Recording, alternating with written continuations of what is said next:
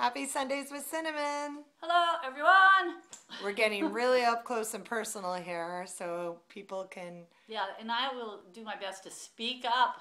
yeah, because uh, we've heard that feedback is that it's not easily heard. So I hope this will be better this week. Let us know. Because it's very important this week. Yes, it's very important. Let me First, see. What are you doing down there? Uh, well, I, we're going to talk about prayer. And this is the prayer bowl that I use daily, multiple times a day. Mm-hmm. Um, I have a rock in it that says "Pray," and um, it, and I first I want to thank any and all of you who have who joined me in prayer for Robin, my daughter, who is. Uh, doing a surgery tomorrow, so we could double our efforts. She's going to have her femur replaced and oh my gosh. and she's she's amazing. She's in great spirits. She speaks of having been shot as the incident. So it's not you know building this uh, um, dramatic dance around what occurred. And she's using all her energy to heal and not to look out there for for anything it's, well, it's I would like to tell you, Sen, uh, today, out of all the days, I've posted, you know, please pray for Robin quite a few times. And today, more people have put Robin's name oh, there. Robin exclamation point. Oh, more people lovely. have today than than they have in the whole time. Well, so I have a children's exciting. class, and at the end of the class, we say we hold hands and we say Robin, Robin, Robin, and that that's why I wanted to talk about prayer today. It, it's um, it's my way of life. It's much like meditation. You learn to meditate by sitting wherever you sit. And then, okay, I meditated for however long when the alarm goes off, and then you walk away and you do the dishes or you do the. Then eventually, you bring the meditation with you, and it becomes your life. Then becomes the meditation. Uh, with pathways, it's the same thing. I, I, like to tell people I'm building a better robot. You know, the robot that was doing things that didn't work, I'm turning into, uh, with, with the cooperation of the person, a robot that works better. Then you release the robots, and your automatic response is, uh, for instance, the first pathway is I am freeing myself from security, sensation, and power addictions that make me try to forcefully control situations in my life and thus destroy my serenity and keep me from loving myself and others. And that's beautiful because it takes you away from the lack of responsibility that your mind has used to dialogue with you over the years. Then you cannot rest on your laurels because that's the better robot. Yes, it brings you more peace to take responsibility. And then we go to releasing ourselves from even that to I have freed myself from security, sensation, and power addictions that made me try to forcefully control situations in my life and thus destroyed my serenity and kept me from loving myself and others. That's freedom. Because how long are you going to say, I'm freeing myself, I'm freeing myself, you know? Because then you're still declaring that you're stuck. So, so we want to allow the pathway dialogue to become a cellular knee jerk reaction, then we let go of the crutches because the wound is healed and we're free. Mm. So that's what prayer is for me. It's this constant state of thank you, God, thank you, God. Uh, you could say, What are you thanking God for? Your kid's shot. She's been in intensive care forever. I, I thank the shooter and, and all the powers that be that she's not dead. So there's always something to be grateful for because God is in all of it. And what if she was dead? And if she was dead, she would be closer to me than she she'd be in this room with me. because, so you would say because she's out of the body that limits her to Albuquerque, New Mexico. And my my love and my joy is with her now because I'm I'm in the spirit of prayer. And she like I don't I don't want her to call me or respond to my calls so much because she needs her energy. I, have spoken to her a couple of times and her little voice was just so it was just so tired because she's not getting sleep and and uh, all the surgeries and all of that. So so uh, there's beauty in all of it. You just have to recognize that love is always here, even where it seems not to be. And if you're in a prayerful state, a meditative prayerful state, um, I can tell you that uh, I had a student who was a professional hypnotist, and he used to sit next to me all the time, all the time. And so I said to him uh, one night, Jerry, I've never uh, been hypnotized. And I go to it with every intention to just let go and be hypnotized, and nothing occurs. I'm just there waiting to be hypnotized. And he said, Sin, you are in a constant state of hypnosis. oh my gosh, that's so and great. I understood that immediately because that's all hypnosis is is going into the deepest deepest knowing and finding that peace and so it, it was just delightful because i knew exactly what he meant. So back to the prayer bowl um, I, I did want to ask a yeah. question just because it slipped by here. Uh-huh.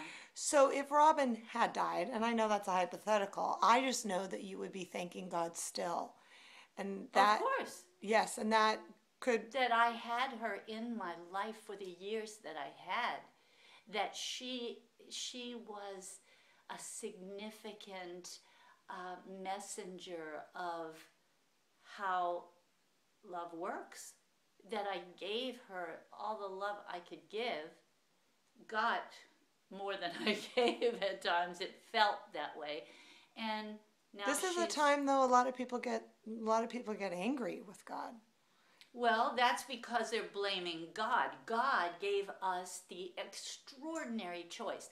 For instance, eh, if Rob had died, I have heard her say more than once over the years, when I die, let it be on duty, where I am making my life and my death count. So that would comfort me.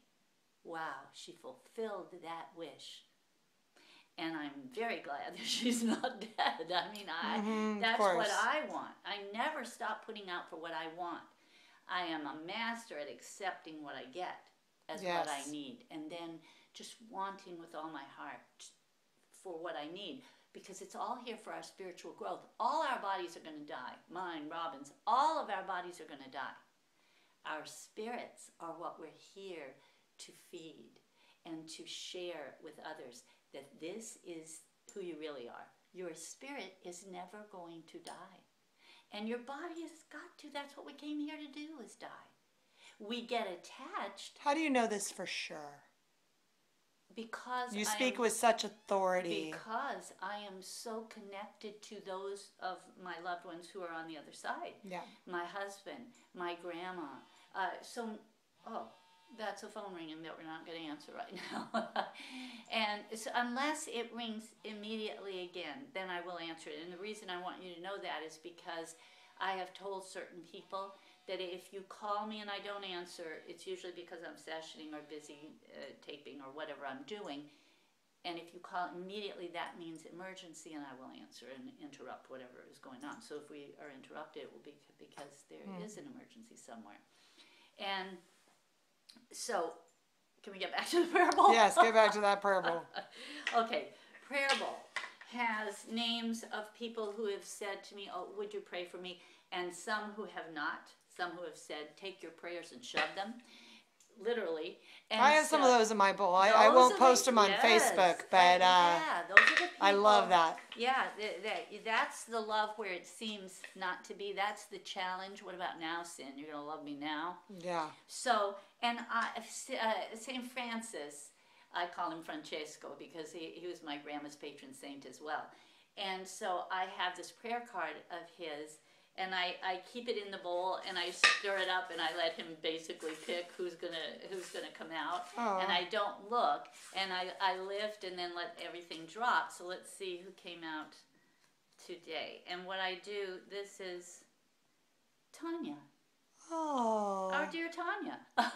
Oh yeah. So Tanya is um, a surrogate sister of of Kathleen's and a surrogate daughter of mine and a teacher trainee and a lot of wonderful things uh, that represent her to us. and she is in need of prayer right now, specifically uh, in certain areas of her life. And so, what I'll do is I will just keep her name lifted to God. What I call prayer it is often different when other people call. When I say, "Would you pray for Robin?" I just mean lift her name to to love, to universal law, to God, to whatever you call that which created you, because that power knows what's going on with Robin better than I do, has more inside information. God is inside that leg. And God knows all the details. All I do is say, God, you know what I want. And God even knows I don't even have to put it together in words. So a lot of people shy away from that word prayer because they have it that prayer means some glorified, flowery statement that really is not necessary. It's beautiful at times. I love to hear the eloquence of some people's prayers. Oh, me too. Marianne Williamson is beautiful. Mm-hmm. And I don't count myself among those eloquent prayer people. Mm-hmm. I I am more earthy, more God, this is a chair, and I really like this chair. Don't you know? Don't let anything happen to this chair, okay? and if it does, then so be it. I'm I'm constantly surrendered, constantly putting out for what I want, and then accepting what I get, mm-hmm. and continuing to pray about it. Maybe you change your mind. Maybe uh, down the road, that's what I'll need. Although always, and I don't use that word lightly, and you know that, Kathleen. Always surrender to if it's here it's what I need. Yes. Because the fourth pathway tells us that. I always have everything I need to enjoy my here and now. Unless I'm letting my consciousness be dominated by demands and expectations based on the dead past or the imagined future. And living in either of those places destroys your here and now, robs you of any joy or any growth that you could have here. So mm. that keeps you here, knowing that whatever you, when people say, well, how do you know what you need? Look around. I need this prayer bowl. I need you. I need all of you who are watching because this is here. This is what I have. Mm-hmm. And I Ever since I started the prayer bowl um, and praying for people I don't know, except for seeing them on Facebook here and there, I have just been creating so much joy with it because it is in giving that we receive. Just the fact that I'm spending different times of my day saying their name either out loud or in my head and not sitting around thinking about me and what I need to do next in my imagined future of, you know, I gotta go to the grocery store, I gotta go to the gym, I gotta yeah, do this, I gotta do that. Uh-huh. And instead just saying today was Terry, Terry, Terry. There. And I just love it. I yeah. just I really do. And I would encourage all of you to to do it with us. Yeah. And I thank you, Sen. I've known you how long? Three and a half years at least. I've known about this prayer bowl for quite a long time and I just started it. I don't judge myself for that. And I realized, gosh, that's where it's at. It's it's I forget otherwise. Uh-huh. I get it with uh, my day. Yeah. I'm like, oh dear God, blah blah blah. And it gets to be fun. To, oh, it's, it's like, so fun. Yeah, yeah I'm all, who's it gonna be? I got one girl, Lisa, three times in one week. Yeah. I was like, this is insane. and then this other girl goes, get me in that prayer bowl. You know, because it's true. It's real, folks, and you don't get someone three times in one week. I got another girl twice, and so it's it's it's been a great journey for me yeah, with yeah, this. Yeah. and and really getting to know my facebook friends uh, that i don't know personally don't know their personalities. Uh-huh. um, speaking of facebook people and one person we know we picked today two people that you have messages for. One we know our dear um, our dearest uh, paula diaz. And the other is rich oken the author of um, uh, oh gosh, I'm blanking on the name. He and his little dog Maya, and his book that I love so much. And I'm sorry, Rich, because right now uh, I'm blanking. Um, Rich the Book of Maya. the Book of Maya. Anyway, it's a great book, folks. Yeah. It's all over my Facebook page. So the uh, stars and the moon and Maya, something like that. So anyway. what I want to say to him is that it would serve him as, as I'm getting this, that it would serve him to recognize his own value as he brings himself to the desire to create romantic relationship, to go to it more with an awareness of what he brings to it rather than what he's going to get from it. Mm. And uh, for Paula, a similar thing to every day acknowledge her personal growth Mm. and watch. I've seen it, Paula. Watch if if your mind, Paula, wants to get in the way. Yeah, but blah blah blah, whatever comes after but. Remember that word "but" gets in your way, so you want to get your butt out of the way. Some butts are bigger than others. exactly. And and so so Paula, just be very aware every day to look at, wow, I did this differently yesterday if it's early in the morning, or I'm going to do it differently today. And just really foster and nurture your own growth. Mm, love that. Yeah. All right. So pray, you guys. Just so easy. Just say the name and lift it up to heaven.